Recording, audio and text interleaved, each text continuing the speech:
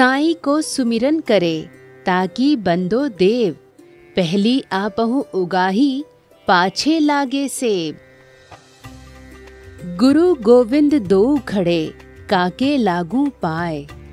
बलिहारी गुरु आपने, गोविंद दियो बताए। दोस्तों, कबीरदास के ये दोहे परमात्मा और गुरु के बीच के उस अंतर को बेपर्दा करते हैं, जिनकी श्रेष्ठा को लेकर आज भी समाज में तमाम तरह की बातें की जाती है। सदगुरु स्वामी कृष्णानंद जी महाराज, कबीरदास के कुछ दोहे के ज़रिए गुरु और परमात्मा के बीच अंतर को समझाते हुए गुरु की महानता को लेकर कहते हैं, गोविंद बाय प्रोडक्ट है। क्योंकि गुरु के बिना गोविंद का मिलना किसी काम का नहीं हो सकता। समझ लो कि समस्त बीमारियों का कारण एक ही है, परमात्मा को भूल जाना, विस्मरण हो जाना। विस्मरण हो जाना ही दुख है स्मरण आ जाना ही सुख है।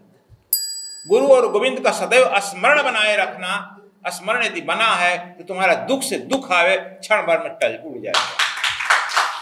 इसलिए हरदम स्मरण बनाए रखना ही सुख है और विस्मरण हो जाना ही दुख है।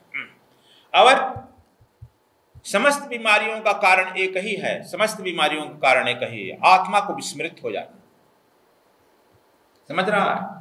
आत्मा का रूपांतरण ही समस्त बीमारियों का एक जड़ है। आत्मा का रूपांतरण होते ही समस्त बीमारियाँ भाग जाती है और तू जो है सब दुखों से निवृत्त हो जाता है, साचिदानंद स्वरूप को प्राप्त कर लेता है। आत्मा में रूपांतरण आत्म रूपांतरण ही सब सुख का जड़ है। और आत्म रूपांतरण यह तभी संभव है जब हम गुरु और गोविंद को, गुरु को स्मरण किए रहेंगे तो गोविंद आ जाएगा। गोविंद तो बाई प्रोडक्ट है। गुरु द्वार है। बिना द्वार में प्रवेश किए कैसे पहुंचेगा? इसलिए ये भी समझो आकि नामदेव को तो पाँच साल में ही गोविंद मिल गया था। ये तो सब जानता है ना, नामदेव को पाँच साल में ही कृष्ण मिल गया था। गुरु नहीं मिला। तब कह दी कि यह सिद्ध है, कच्चा है। खेचर भी मारकर बगा दिया, कच्चा है। किसी काम का नहीं, कच्चा। जाओ गुरु करो। कृष्ण से भी आकर पूछा, क्या कर रहा सब? कहा कि हाँ ठीक कर रहा कच्चा है। फिर गुरु के यहाँ जाना खोजना पड़ा।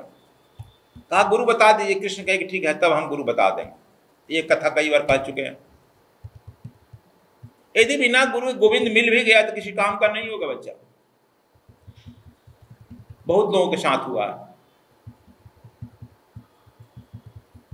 तो इसलिए गुरु जब मिलता है तब तुमको पक्का होता है।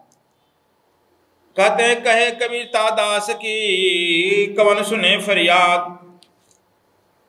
यदि तो सुख में नहीं किया, दुख में याद कर रहा कहते हैं, उस दास का, उस लेब का कोई फरियाद सुनता नहीं है। हर जगह दरखास्त देते हो, फरियाद सुना, मैं बड़ा दुखी हूँ, बड़ा दुखी हूँ। तुम्हारा एप्लीकेशन रिजेक्ट हो जाता है रिजेक्ट हो जाता है। फिर दौड़ कर आता है गुरु जी तो हाँ हमारा एप्लीकेशन तो सुप्रीम कोर्ट तक रिजेक्ट हो गया।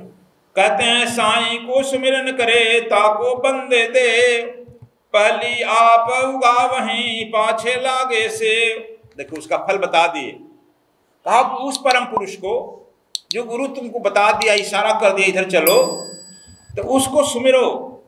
जब उसको तो सुमरे कर, करता रहेगा तो ताको बंदे दे।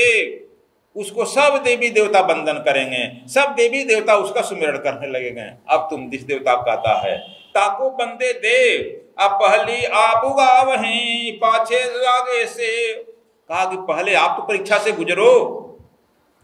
पहले आप उगा वहीं मैंने अपने में उगाओ, उपजाओ। कौन थी शुद्ध चैतन्य भाव उपजाओ।